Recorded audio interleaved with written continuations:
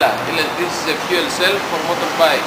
But, uh, This is a fuel cell 500 watt for a scooter. Βγάλ το σκούτερ τώρα. Εγώ το παίρνω. Αυτό έχει σαν ξέμου. Άρα το σκούτερ.